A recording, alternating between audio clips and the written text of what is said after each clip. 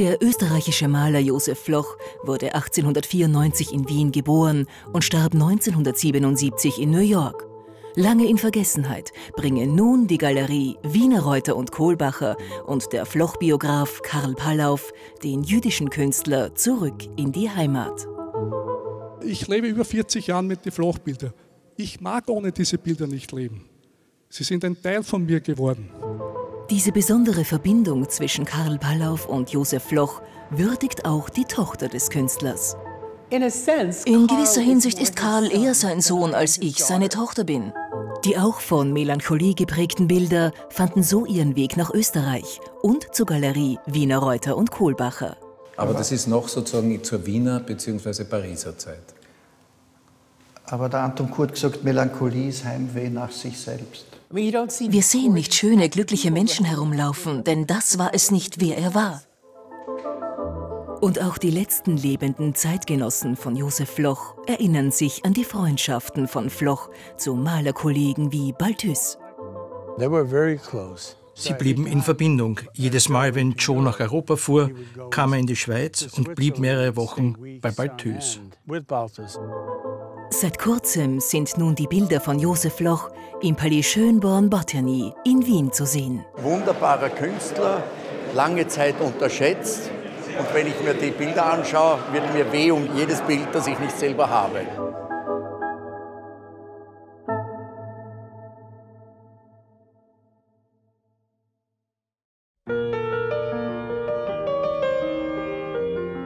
Josef Loch ist ein österreichischer Maler, der eine internationale Karriere gemacht hat. Er wurde 1894 in Wien geboren. Bereits 1921 stellte er im Künstlerbund Hagen aus, wo er zu den renommiertesten österreichischen Malern gehörte.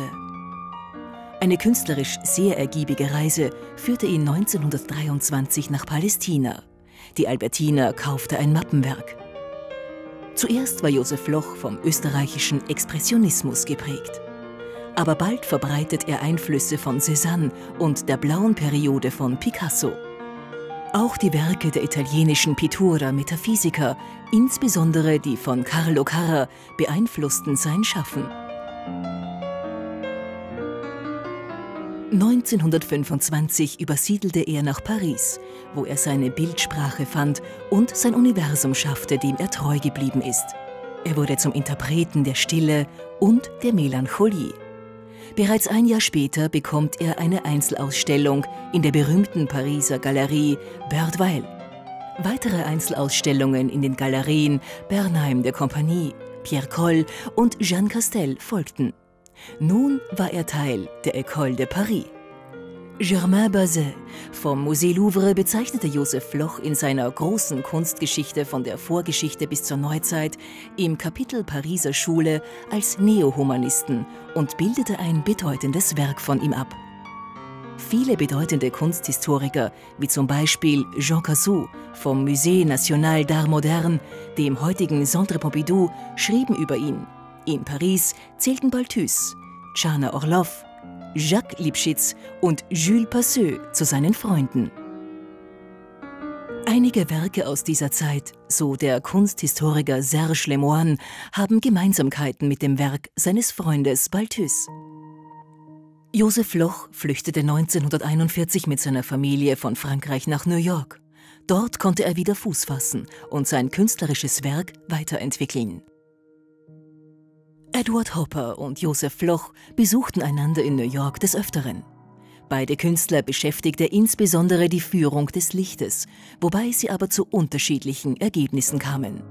Gemeinsam kämpften sie Anfang der 50er Jahre in einer eigenen Zeitschrift namens Reality gegen die fortschreitende Abstraktion in der Kunst. In den späteren Werken tendieren die dargestellten Figuren dazu, sich aufzulösen und mehr und mehr mit dem Hintergrund zu verschmelzen. Raum, Licht und Zeit werden auf dieselbe Weise interpretiert wie bei Alberto Giacomettis gemalten Porträts. Josef Loch hat sein Universum geduldig und entschlossen aufgebaut. Ohne jedes Pathos hat er seine eigene Vision des Menschen und seines Platzes in der Welt geschaffen. Dies drückt sich in einem seiner wichtigsten Werke mit dem Titel Rest aus. Joseph Floch wurde als erstem amerikanischen Künstler der Orden Chevalier de l'Ordre Français des Arts et des Lettres verliehen. Seine Werke befinden sich in zahlreichen österreichischen, französischen und amerikanischen Museen, wie beispielsweise dem Belvedere in Wien, dem Museum of Modern Art Paris und dem Metropolitan Museum of Art New York. 1972 widmete ihm das Belvedere eine Einzelausstellung. Josef Loch verstarb 1977 in New York. Wiener Reuter und Kohlbacher widmen Josef Loch eine große Retrospektive mit über 100 Meisterwerken aus den wichtigen Kunstmetropolen Wien, Paris, New York. Dazu ist eine umfangreiche Monographie mit einem Text des bekannten französischen Kunsthistorikers Serge Lemoine erschienen.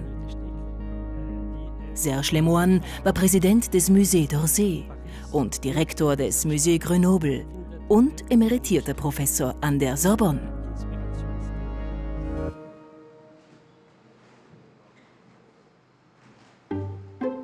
Josef Lochs Werke werden in Galerien und Auktionshäusern angeboten und erfreuen sich immer größerer Beliebtheit. Kürzlich kam eines seiner Hauptwerke in eine Auktion. Im Auktionshaus Kinski in Wien wurde das Bild Mutter mit Kind von Josef Loch aus dem Jahr 1927 versteigert. Das Käuferinteresse war groß. Ich bin ein Liebhaber von Floch oder ein Freund von Flochbildern. Dieses Bild ist also ein frühes Werk, ja? also noch der Phase des Expressionismus, wo so richtig schön auch sein Farbenspiel und die Farbe ist für den Floch immer was ganz Wichtiges, das dort auch sehr schön herauskommt. Josef Loch war lange Zeit am Kunstmarkt unterrepräsentiert. Erst seit etwa einem Jahrzehnt erfährt er eine wahrnehmbare Anerkennung. Ja, der Floch spielt schon eine große Rolle, weil er eigentlich einer der wirklich besten österreichischen Maler der Zwischenkriegszeit ist. Und dieses Bild, das wir diesmal anbieten, ist wahrscheinlich das Schönste, das wir je angeboten haben aus den frühen 20er Jahren. Und ein Bild, das wirklich auch im Katalog verglichen ist mit dem Picasso und mit dem Modigliani. Und wenn man sich diese Malerei anschaut und bedenkt, in welcher Zeit es gemalt worden ist und wer der Floch war, ist es wirklich ein grandioses Highlight.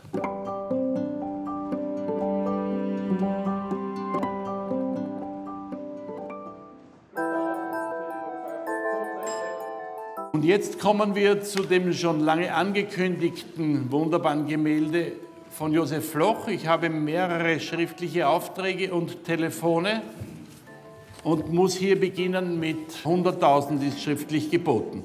110.000, 120.000, 130.000 ganz hinten, 130.000, 140.000 vorne, 140.000 sind vorne geboten, 150.000 am Telefon, 160.000 in der Tür, 160.000 sind geboten, 170.000, 170.000 sind geboten, 180.000 am Telefon, 190.000 ganz hinten, 190.000 ganz hinten, 200.000 sind vorne geboten, 200.000 sind vorne, 210.000 sind geboten, 210.000 am Telefon, 220.000 vorne, 220.000 sind geboten, 220.000, niemand mehr als 220.000, 220.000 zum ersten, 220.000 zum zweiten.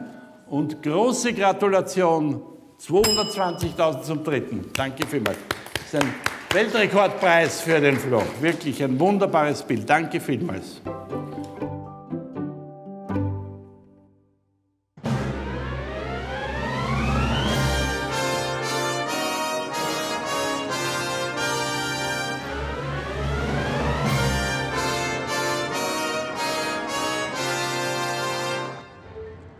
Die Geschichte der Wiederentdeckung von Josef Loch führt ins Jahr 1974 nach New York. Der junge österreichische Koch Karl Pallauf wollte die Welt entdecken und kam in den Big Apple. Es war Silvester 1974. Ich bin von Bermuda direkt nach New York geflogen und es war ein kalter, wirklich kalter Tag. Und man glaubt es nicht, jetzt ist es fast 43 Jahre her. Und das war, wenn ich jetzt so nachdenke, eine unglaubliche Zeit. Lebte er sich in der Stadt, die niemals schläft, ein, bekam einen gut dotierten Job als Koch und begann als Hobby Kunst zu sammeln.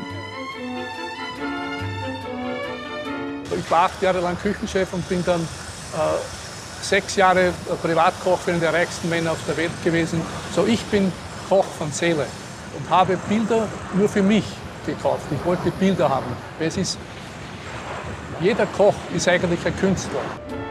So kam der Kochkünstler dann erstmals mit den Bildern von Josef Floch in Kontakt. Den ersten Floch habe ich gekauft, ich will nicht sagen, das ist Mitte der 70er Jahre gewesen.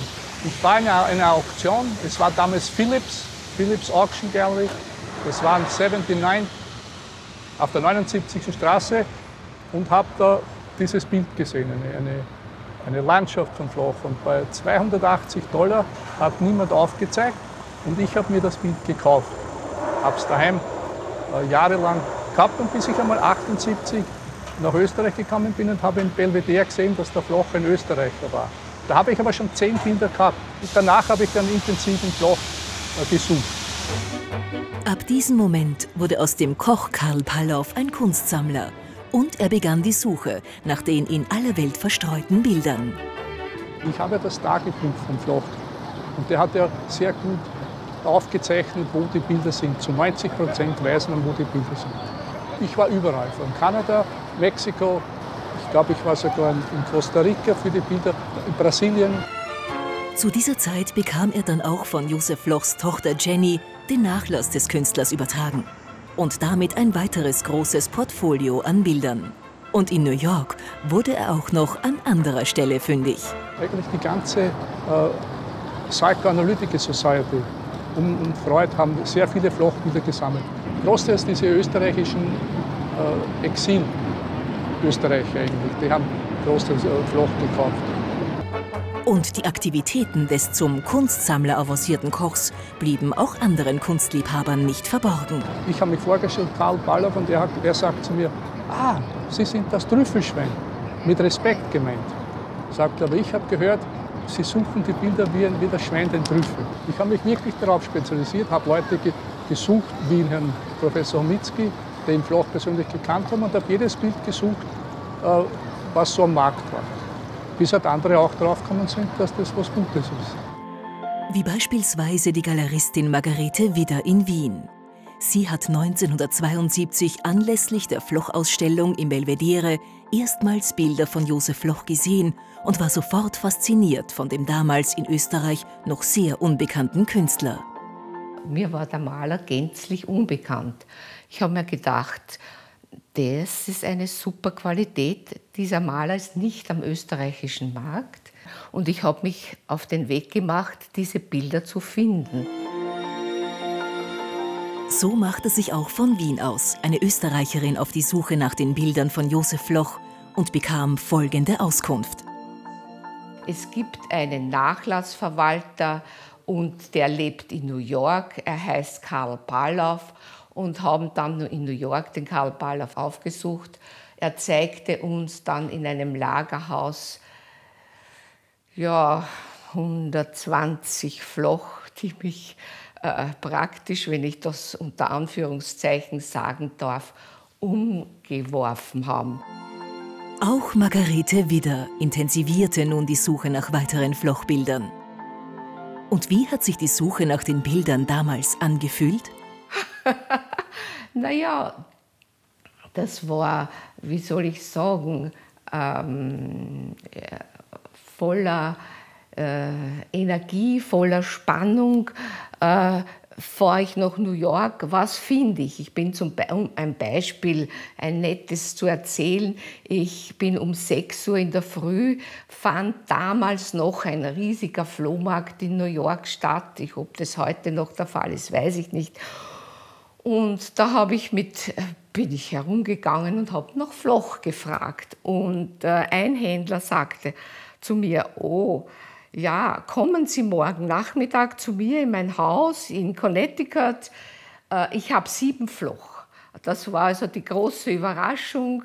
Ich fuhr eine Stunde mit dem Bus von Ortschaft zu Ortschaft und kam dann in ein Haus, das war voll, ich möchte sagen, überfüllt mit Kunst, also mit Bildern äh, angeräumt und das hat so diesen typisch amerikanischen Bildergeruch gehabt.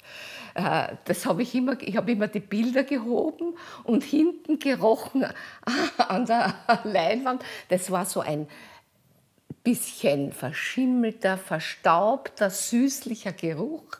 Und der hat sich mir im Kopf total stark eingeprägt. Und in dieses Haus bin ich gekommen und da habe ich gesehen, sieben frühe Floch. In Österreich hat sich vor allem eine Galerie der Herausforderung Josef Loch gestellt dass es also dann der Kunsthandel Wiener Reuter und Kohlbacher aufgenommen hat und dann sich die, auf diese Preise eingelassen hat, nicht verschreckt war, zum Unterschied von mir, und haben dann den Floch äh, noch einmal einen äh, Schub gegeben, um ihn dadurch bekannter zu machen. Die Galerie Wiener Reuter und Kohlbacher hat Josef Loch in Wien sprichwörtlich wieder salonfähig gemacht. Und dafür gesorgt, dass auch in der Heimat Kunstinteressierte wieder auf den ins New Yorker Exil geflüchteten Wiener Künstler aufmerksam werden.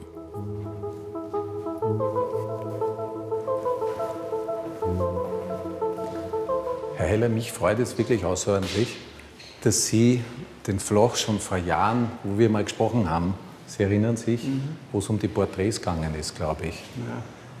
Da war schon eine Begeisterung von Ihnen da und Sie haben auch erkannt, dass er wirklich einer der sozusagen internationalen österreichischen Künstler ist in der Zwischenkriegszeit. Einer der ja, wenigen. Das ist er ganz sicher. Aber ich habe immer so diese Gedanken, da passiert gleich irgendwas. Das sind nicht so harmlose Familienbilder oder Stillleben oder Landschaften. Ich denke mir immer, da ums Eck lauert was. Ja?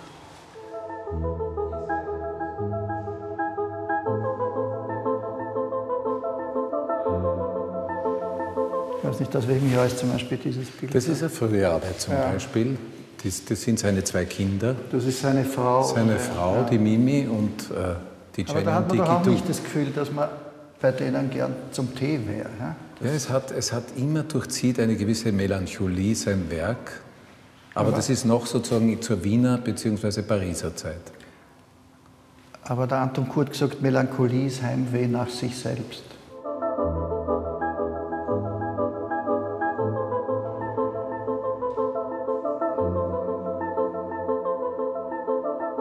Ich suche seit Jahren nach dem Frauenporträt, das mich so berührt, dass ich es kaufe.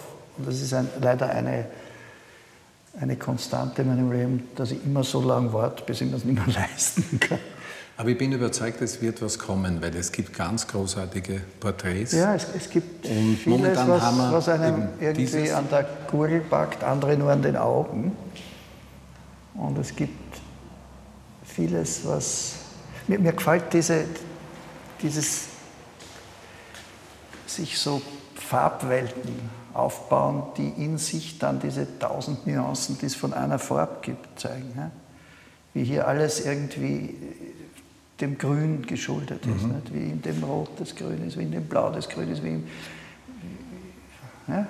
Man muss nur schauen. Das war x-mal abgebildet in verschiedenen Zeitschriften in Amerika, verschiedene Ausstellungen. Er hat ja eigentlich sehr großen Erfolg gehabt, auch in Amerika. Ja. Wenn man dort zum Beispiel anschaut, diese, dieses Greenhouse, ja. das kann man mal vielleicht noch aufstellen. das ist sowieso ein sehr schönes Bild. Er war sehr gut befreundet mit Palthus. Er war ja, in der, Schweiz bei ihm. war halt ein, ein, ein, sehr präziser... Das hat natürlich diese andere Richtung, ja. aber eine gewisse Verwandtschaft sehe ich dann schon auch. Ne? Der Baltis war natürlich viel erotischer fixiert. Das fehlt, das ist ja. bei ihm nicht der Fall. Man hat ja, genau. nicht, man, die Bilder sind sinnlich, aber Sie haben nie eine Geilheit oder sowas. Ja? Nein, nein, oder, oder auch keine versteckte. Ganz, ja, ja. Während beim Balthus wird ja gar nichts versteckt.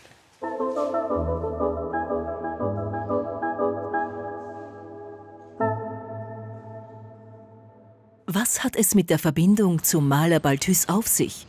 Das und die Freundschaft zum amerikanischen Maler Richard Diebenkorn möchte Karl Pallow beim Besuch des letzten lebenden Malerkollegen von Josef Loch herausfinden.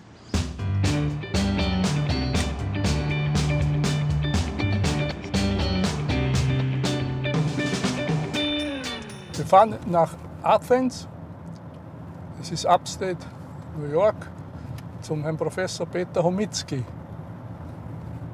Den besuchen wir. Das ist ein, der einzige, der noch über ist von der Flochrunde, von den Künstlern, die damals in New York zusammen waren. Der Peter Homitzki ist interessant für mich, weil er die Essenz vom Floch wirklich äh, erkannt hat, und zwar vom, vom Künstlerischen, vom Malerischen her. Versteht er seine Essenz am besten von allen. Und das ist wirklich, der ihn auch persönlich gekannt hat. Ich habe den Nachteil, dass ich ja nur seine Bilder kenne, aber nicht seine, ihn, als, ihn persönlich. Nicht nur das, der kennt auch die ganzen, äh, das Umfeld vom Floch, von den Ausstellungen, wer dabei war. Und es wird sicher interessant sein, was er dazu zu sagen hat. Weil es gibt immer was Neues, wenn ich ihn sehe. Peter Homitzki ist mittlerweile von New York nach Athens übersiedelt und lebt dort zurückgezogen in seinem Landatelier. Für Karl Pallow und seine Spurensuche nach Josef Loch macht der 75-jährige Künstler eine Ausnahme. Mr. Homitzki.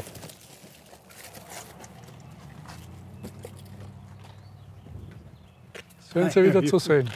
Ich habe Ihnen zwei neue mitgebracht. Danke. Wie geht's?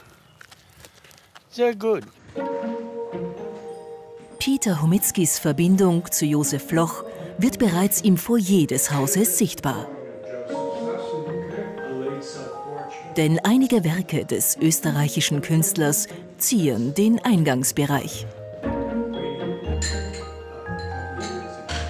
Was war Ihre Verbindung zu Josef? Was denken Sie über seine Arbeit? Ich bin ein großer Fan, das war ich. Und wir wurden ziemlich enge Freunde.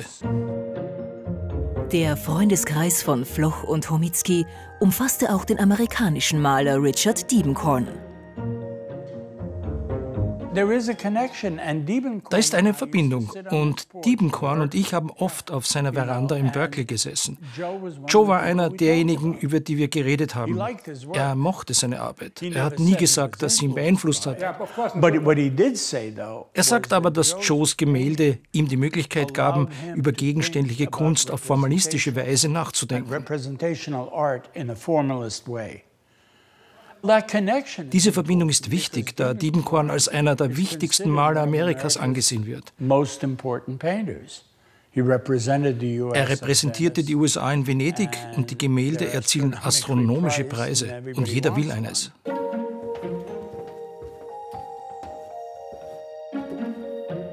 Im Atelier von Peter Homitzki findet sich dann auch jeweils ein Bildband von Josef Loch und Richard Diebenkorn. Karl Pallow nützt die Chance, um herauszufinden, wer von wem künstlerisch beeinflusst wurde. Aber sehen Sie, wenn man diese Gemälde vergleicht, sieht man den extrem starken Einfluss. Ja, aber in Bezug auf die Gestik in der Darstellung? Aber da kann man deutlich sehen, dass Floch vor Diebenkorn war.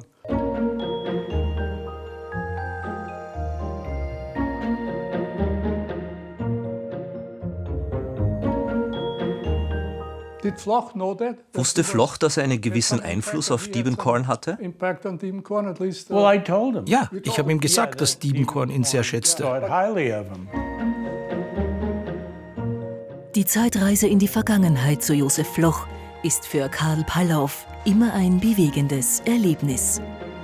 Ich finde es traurig, dass ich es selber nicht erlebt habe und äh, aufregend, dass ich wirklich die Wahrheit äh, von jemandem, der da dabei war, das ist für mich eigentlich sehr wichtig.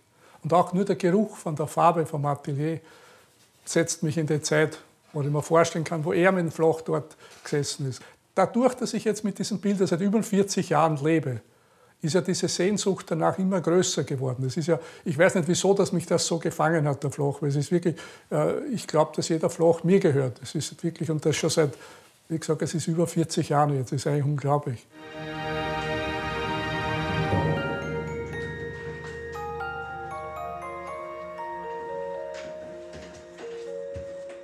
Aber nicht nur Richard Diebenkorn verband eine Freundschaft zu Josef Floch. Auch der deutsch-polnisch-französische Künstler Balthus hatte zu Floch guten Kontakt. Als Sie sagten, dass Floch Balthus kannte, was hat er Ihnen erzählt? Uh, Sie blieben in Verbindung. Jedes Mal, wenn Joe nach Europa fuhr, besuchte er die Schweiz und blieb mehrere Wochen bei Balthus im Schloss. Interessant.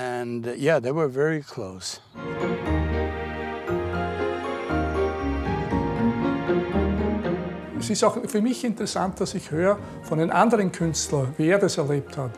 Es waren ja die anderen Künstler, die mehr geschätzt haben als eigentlich wie der Handel. Das ist, glaube ich, ganz eine wichtige Sache, dass meistens die großen Künstler zuerst von den anderen Künstlern entdeckt werden.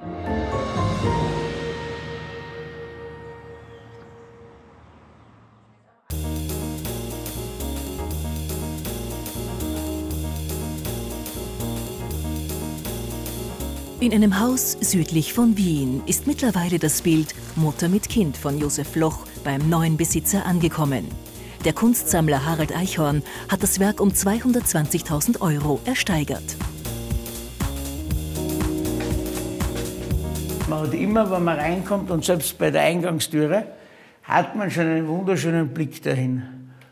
Ja. Ich bin wirklich fast gerührt, dass es jetzt da hängt, wo man es wirklich sehr, sehr oft sieht. Weil es ist so die, die gütige Mutter und, und es ist einfach von der Komposition her so stimmig. Man schaut sich es gern an einfach.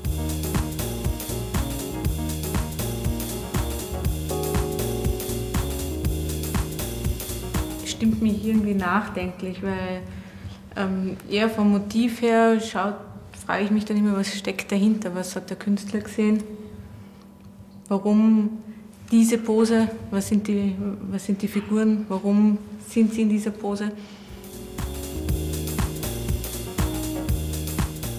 Für Sammler Eichhorn ist es aber nicht der erste Floch im Haus.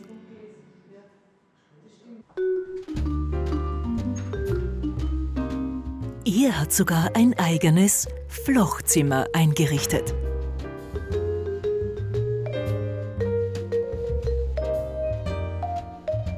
mit sehr unterschiedlichen Bildern und Motiven von Josef Floch. Ein heißer Sommertag im Süden von Frankreich. Das merkt man so richtig. War ein beliebter äh, Ferien- und Urlaubsort von Floch. Das ist später, das hat er schon in New York gemalt.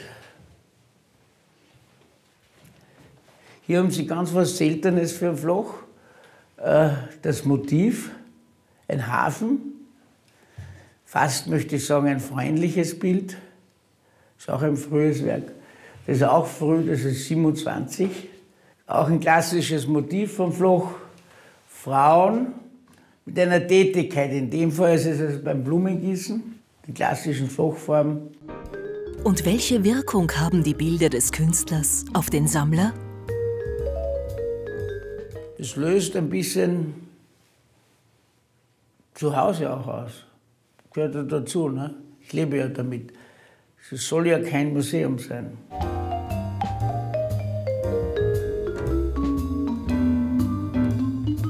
Er war damals durchaus sehr bekannt oder machte Ausstellungen mit Modigliani oder Picasso, also die heute in der ersten Reihe stehen, wenn sie in den Louvre gehen oder was auch immer. Ja. Er hat auch die größte Auszeichnung, französische Auszeichnung erhalten, die ein Künstler erhalten kann. Gehört sicher zum bedeutendsten der klassischen Moderne. Und man sieht es ja auch bei Versteigerungen, dass er also deutlich an Wert gewonnen hat.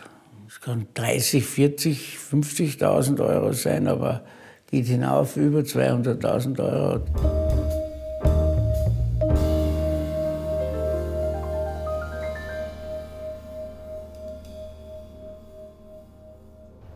Im Palais Schönborn-Bottiani beginnen die Vorbereitungen für die Josef-Floch-Ausstellung. Karl Pallauf hat gemeinsam mit der Galerie Wiener Reuter und Kohlbacher die Ausstellung in Wien organisiert.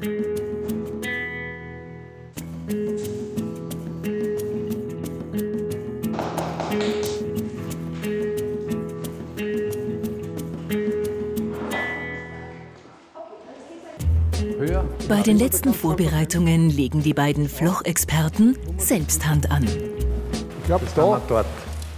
ist glaube ich, ein guter Platz. This way. Ah, da, super. Unter welchem Thema steht die Ausstellung? Wien, Paris, New York, das waren sozusagen diese Hauptthemen. Das waren seine Lebensstationen. Über 100 Meisterwerke werden präsentiert und mussten vorher von ihren Besitzern entlehnt werden. Wir haben auch ein schönes Erlebnis gehabt. Also von einem Freund ist die Tochter mitgekommen. Sie haben die Bilder geliefert und dann hat sie mir gesagt, weißt du, das sind meine Lieblingsbilder und jetzt haben wir Löcher an der Wand. Dann habe ich gesagt, weißt du, mir geht es ganz genauso und wir werden aber sicher eine Lösung finden. Also das war ganz entzückend, wie, wie sehr dieses junge Mädchen die Bilder von Floch liebt. Auch das Belvedere und das Leopold-Museum stellten Werke zur Verfügung. Es passen zwei, Die zwei Arbeiten, die würden wunderbar aber nicht drei. funktionieren. Das sind diese wichtigen französischen, darf ich sagen, Louis? Ja, das ist mein ein Lieblingsbild. Werk. Solange ich lebe, wird das Bild bei mir sein. Bin mir absolut sicher. Ich kann es gar nicht genau sagen, warum, aber es berührt mich tief. Dieses Bild, das ist, äh, ich bin ein großer Fan von Modigliani und dem Picasso und hier habe ich einen Floch Modigliani Picasso. Eigentlich diese ganze Serie ist, äh, hat man dieses, dieses Gefühl von, den, von Picasso, seinen, sehr stark von den Franzosen beeinflusst. Na, bis dato der teuerste verkaufte Floch. Aber das wird sich wahrscheinlich bald wieder ändern. Aber Das heißt, wir haben die französische Periode Ja. abgeschlossen und jetzt fantastisch. gehen wir zur Wiener Zeit und zur New Yorker Zeit.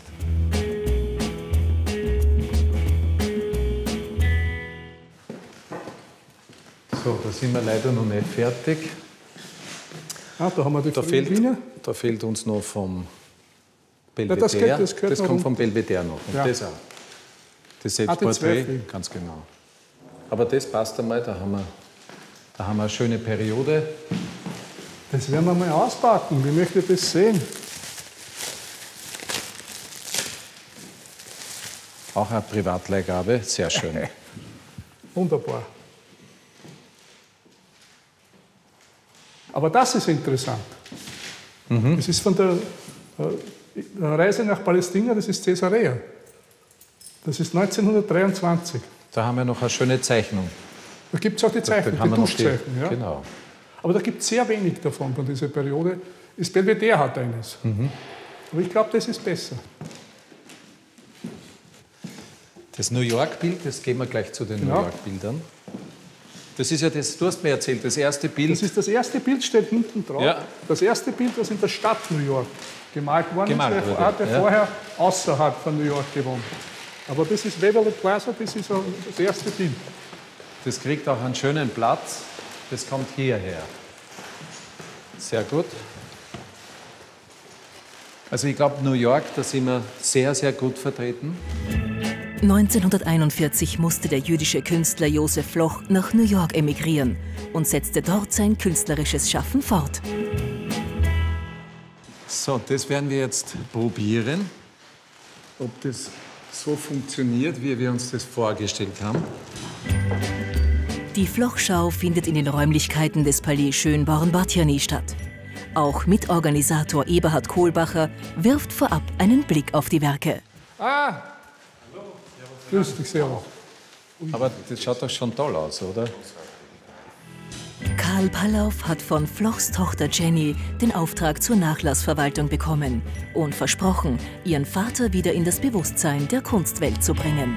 Es ist ein enormes Genugtuung für mich, dass die Jenny Floch, die Gott sei Dank kommt zur Ausstellung mit 83 Jahren das erlebt, was ich hier vor 35 Jahren äh, versprochen habe. Und damit ist das für mich sehr wichtig.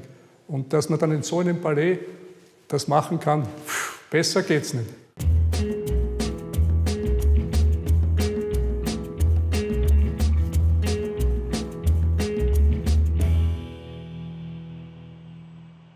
Anlässlich der Ausstellung ist Jenny Floch aus den USA nach Wien gekommen. Die Ausstellungsorganisatoren überreichen ihr das erste Exemplar einer neuen Monographie über ihren Vater. Wow. It's great, isn't it? Amazing. Auf 245 Seiten werden die wichtigsten Lebens- und Schaffensperioden des Künstlers gezeigt. Wow. Did you design it? Wir alle drei haben daran gearbeitet. Das ist das Bild, was das Belvedere gekauft hat von deinem Vater. Das ist das erste Bild, wie ich von Amerika zurückgekommen bin, wo ich herausgefunden habe, dass der Floch ein Österreicher ist. Das war das Bild. Wirklich? Ja. Du, du, ich habe es vorher nicht gewusst. Wirklich? Ja. Und nun werden die Werke von Josef Floch aufgrund der Initiative von Karl Pallauf und der Galerie Wiener Reuter und Kohlbacher wieder in Wien gezeigt.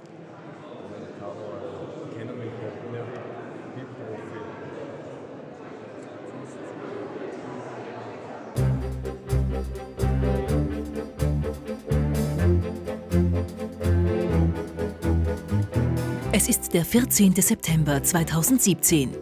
Ein historischer Tag, nicht nur für das Övre von Josef Floch. Dreiviertel sieben. I open up. For the record. So, it works. Wonderful. Okay. Welcome. Die 82-jährige Jenny Floch ist zur Ausstellungseröffnung ins Palais Schönborn-Batjany gekommen. Now we take a look. And Yes. I hope you like it. I'm sure I will be completely overwhelmed. Yes.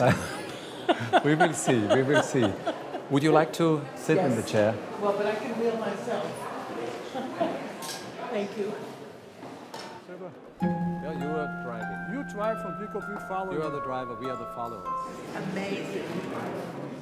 Jenny Floch hatte sich nach dem Tod ihres Vaters sehr für die Verbreitung der Bilder engagiert. All I wanted was Ich wollte nur, dass sie in die Welt hinausgehen und dort ihr Leben finden. Und das hat Karl gemacht.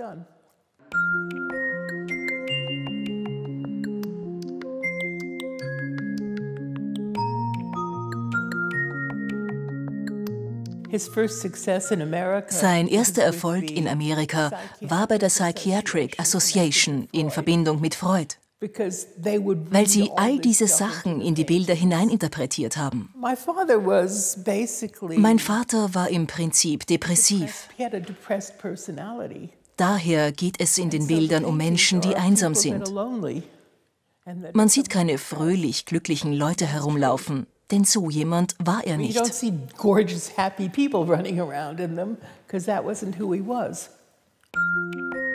Josef Loch hat auch seine Frau Hermine und Tochter Jenny gemalt. Ja, das ist mich. Er hat mich nicht gerne gemalt. Er mochte sehr große, schlanke Frauen mit schmalem Gesicht. Das bin ich nicht.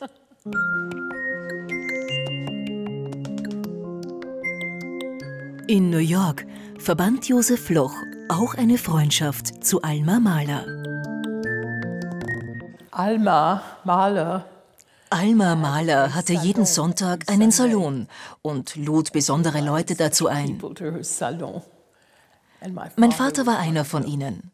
Meine Mutter hat sie nicht eingeladen. Dann, ganz am Ende, kurze Zeit bevor sie starb, lud sie meine Mutter, meinen Vater und mich zum Tee ein. because Das war ihre Entschuldigung.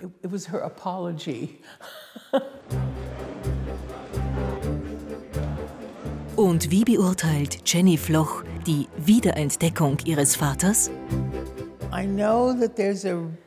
Ich weiß, dass derzeit das Interesse an jüdischen Künstlern wieder auflebt. Da war ein Kunstphilosoph, dessen Namen ich vergessen habe, der sagte, man weiß, dass es gute Kunst ist, wenn sie nach mehreren Generationen mehr als eine Generation anspricht. Nun sind es drei Generationen. Und sie hat drei Generationen angesprochen. Daher weiß man langsam, dass es große Kunst ist. Und was sagen österreichische Kunstexperten über Josef Floch? Naja, kann ich nur sagen, höchste Zeit, wunderbarer Künstler, lange Zeit unterschätzt. Ich beglückwünsche die, die das gemacht haben. Und wenn ich mir die Bilder anschaue, wird mir weh um jedes, Herz, jedes Bild, das ich nicht selber habe.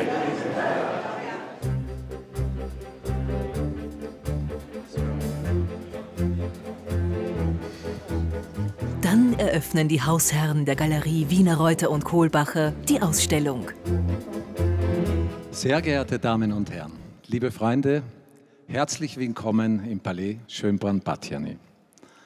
Heute ist ein besonderer Tag für Josef Loch und ein besonderer Tag für uns drei, weil es ist sozusagen eine Geschichte von 27 Jahren, die wir zusammenarbeiten, damit diese Ausstellung möglich geworden ist. Wir haben aus der ganzen Welt die Bilder zusammengetragen, wir haben sie teilweise an Sammler weitergegeben und das war der Pool, aus dem wir schöpfen konnten, Anders wäre diese Ausstellung nicht möglich gewesen. Und Floch-Biograf und Sammler Karl Pallauf ist auf der Spurensuche nach Josef Floch am Ziel angekommen. Andy Warhol hat gesagt, jeder Mensch hat seine 15 Minuten auf Fame. Ich glaube, das sind heute meine 15 Minuten auf Fame. In gewisser Hinsicht ist Karl eher sein Sohn, als ich seine Tochter bin. Denn Karl fühlt sich ihm vollständig verbunden. Ich lebe über 40 Jahre mit den Flochbildern. Ich mag ohne diese Bilder nicht leben. Sie sind ein Teil von mir geworden.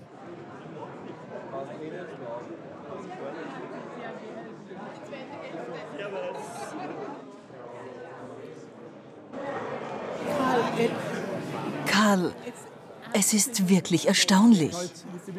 Aber ich sage dir noch etwas. Heute, als ich darüber nachdachte, ich glaube, Josef ist hier. Ich fühle seinen Geist.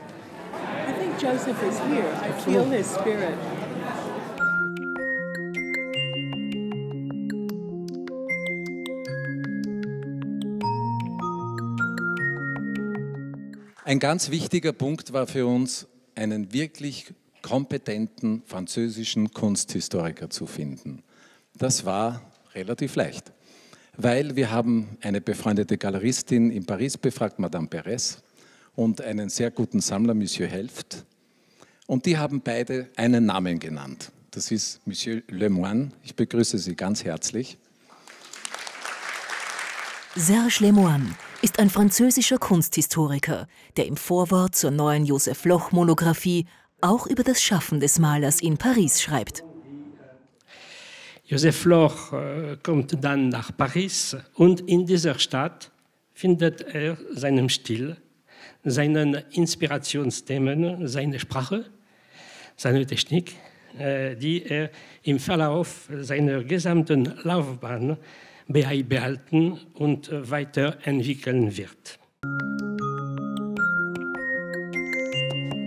Mit der Vernissage Josef Loch, Wien, Paris, New York, wurde die Spurensuche des Künstlers erfolgreich abgeschlossen. In New York in Auktionen, wo die Bilder von Floch aufgetaucht sind. Und da hat es geheißen, der Koch kauft den Floch. Das war so wie ein Witz. Äh, wenn irgendwo ein Bild gewesen ist, hey, der Koch kauft den Floch, das war so wirklich unter den österreichischen Händlern in New York, dann, die da hinkommen sind, das war wirklich das. Und ich glaube, der Koch lacht heute. Äh, ich glaube, dass da nicht viele Leute geglaubt haben, dass das so weit kommen wird.